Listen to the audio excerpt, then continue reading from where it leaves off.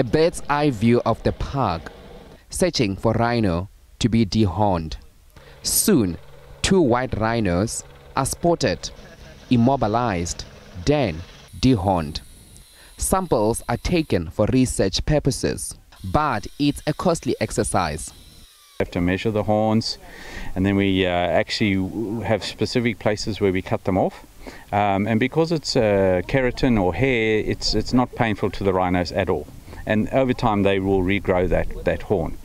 Um, and then once we've done the dehorning, we collect blood samples, and that's both as a, um, a Department of Environmental Affairs requirement, and also we have a biobank. Petroleum Giant has donated jet fuel for the aerial monitoring of the rhinos.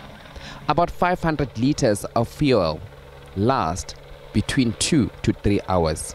And the vastness that Kruger is at 2 million hectares, uh, it's like trying to find a, a, rhino that is not dehorned uh, or, or, de or, needs uh, maintenance dehorning. It's like trying to find a needle in a haystack. It becomes quite, quite costly.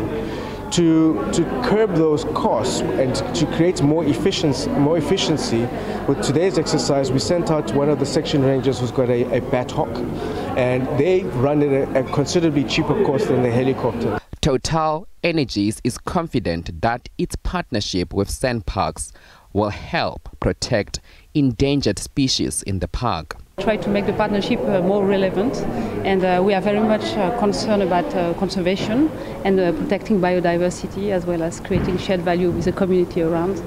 And, uh, and this uh, work that we're doing with SANPark regarding the anti-poaching is really relevant because it helps uh, protecting this biodiversity. In our nature conservation, we have found that the enforcement is now costing us more.